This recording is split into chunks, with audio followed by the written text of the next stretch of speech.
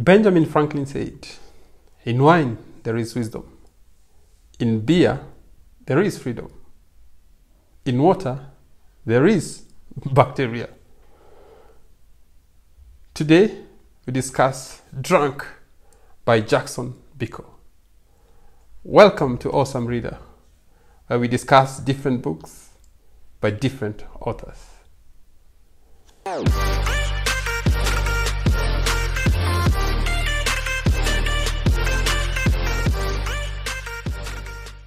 To the facts of the book. Jackson Biko has been a writer of Man Talk column for many years in the Daily Nation. He's a blog by the name Biko Zulu, where he consistently writes articles and other short stories. He does a masterclass training on writing and the love for writing. The book, Drunk, has been dedicated to his late mother. The book has 167 pages, very small, easy to carry. It's actually a pocket sized book. It has a nice red cover with a photo of a bottle and probably a drunk man on the cover, which tells the story inside the book.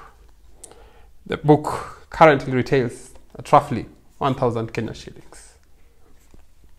Into the highlights of the book, we are introduced to Larry, a bright Form 3 student, and his brother Jeff, who's just come back from India with a degree in zoology and a love for the drink. Jeff casually introduces his bro to the drink, a sip of whiskey here and there when they're having their casual conversation. Into the thick of the story, things flip. Jeff leaves the bottle, puts his life together, gets a job, gets a wife, and even a baby on the way. On the other side, Larry has had a love for the bottle, becomes a drunk, has commitment issues with his various relationships which are not working out.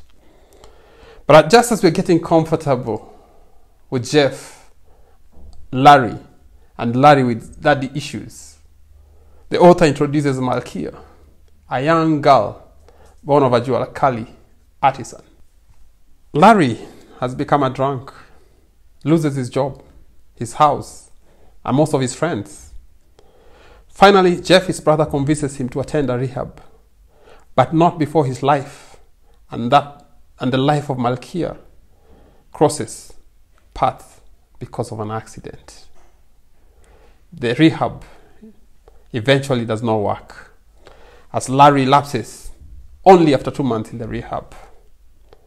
Does Larry recover from the lapse? No.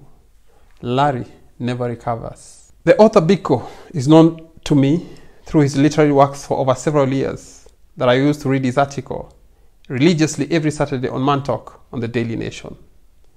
I've been part of his writing masterclass, a class that I've enjoyed very much. In my opinion, as I pick his first book, The Drunk, from chapter 1 to 5, it had a familiar ring to it. However, in characteristic of Biko style, he brings another storyline by introducing a seemingly different story in the book, which sweetens the plot and brings a huge suspense. Let's read a paragraph in chapter 12. On 13th November 2013, the artisan made five wheelbarrows. He painted all of them dark blue. They were for a small client in Eldoret.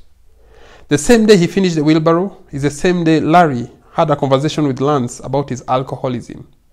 This information might be of no relevance at all, so ignore it. Go back to your lives. Eat an apple. So characteristic of Jackson Biko. It is an easy read, easy to remember story that imprints in your mind, and a second reading might not be necessary or required. As I finished the book, the question remained is it Larry? Or is it the drink?